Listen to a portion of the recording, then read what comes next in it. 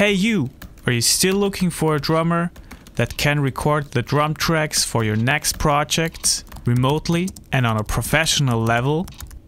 Search no more.